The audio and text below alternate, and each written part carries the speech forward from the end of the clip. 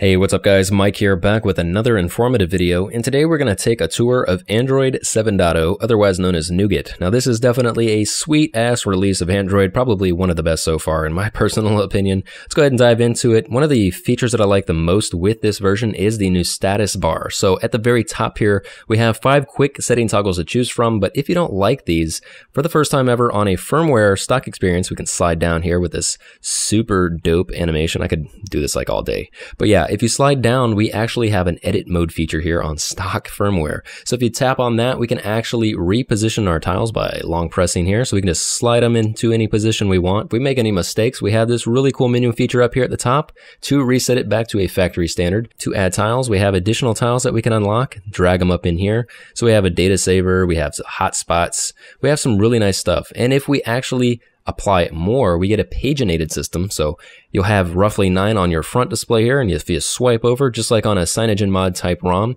we have additional quick setting toggles that we can use and choose from. Now, on top of that, we do have some expandable notifications now with the 7.0. So if you'll see here, I can use my two finger swipe down to get my advanced features, or there is a top header that you can tap up here at the top. So you see that little arrow at there. You can tap on that and get into an advanced option. Now, I don't personally like that. I like to use the double finger as there's less complications, you don't accidentally tap into the actual information.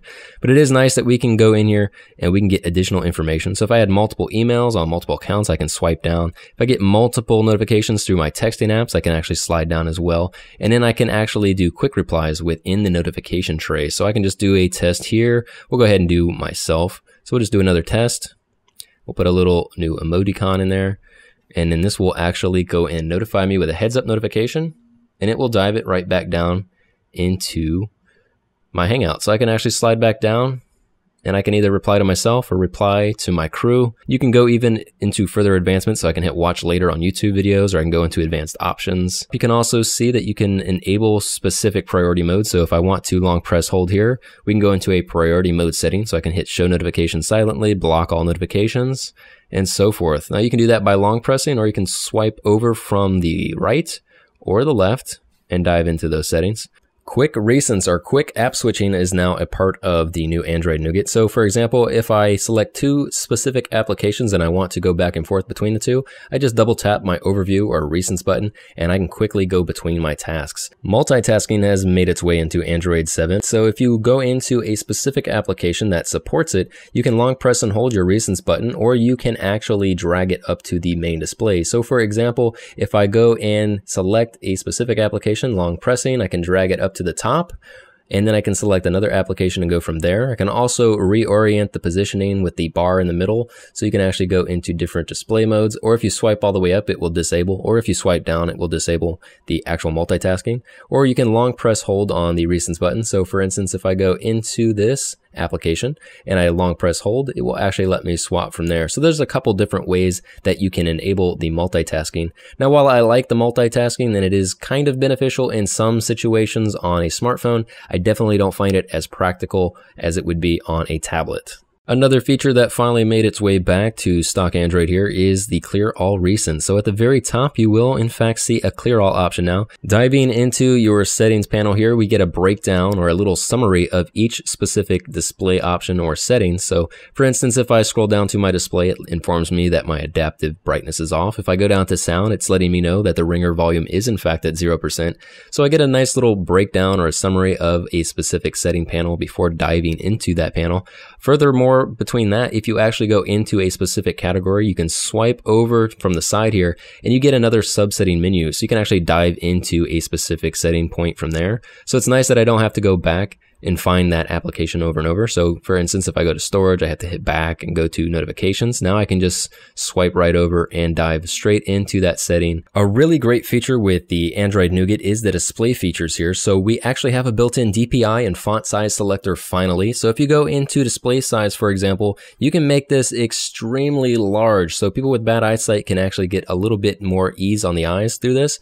Or if you like it to be extremely small, for example, you can go and make it more like a tablet style size. And then if the font is still too small in that particular setting, you can actually adjust it and make it a little bit larger or even smaller if you want to get into that customization. Now, when you get the new version of Android 7.0 and you want to enable that LED backlight, it will actually be in your notification cogwheel now. So if you go into notifications and settings, you tap that, you'll actually see your pulse notification light from in this new feature setting. So be aware of that. Now, if you long press on your settings cogwheel here, you will get into a system UI tuner mode. It will be unlocked. And from here, you will normally get a status bar, do not disturb, and other menu. Now, I will leave a zip file in the description down below that you can flash with a TWRP or custom recovery, or you can sideload, which will enable your navigation bar and color and appearance. So in color and appearance, you can actually enable that night mode toggle, which I discussed earlier. So if you swipe down here and you have your night mode toggle enabled, this will make it less harsh on the eyes and specific calibration modes. You will even be able to go into a calibration mode. So you can actually calibrate your display through your color and appearance system tuner. In addition to that, you will have a navigation bar here that is baked in and you can actually customize your navigation bar in real time. So if I go in here and for instance, drag my overview button up to your center, I can actually change that with my back button if I wanted to. So a la a Samsung experience, I can go ahead and swap these two together. And there you go. That's actually done in real time. So I can choose to use that in that manner. And you can even go even further by adding a specific button. So if I wanted to add a clipboard, for example, this is something or a tool that can be used to actually paste information. So if I go into a specific application, let's just say I want to copy this actual text here, and I go up here to one of my replies, I can actually go in here, hit reply, and then drag it straight from this clipboard right into there.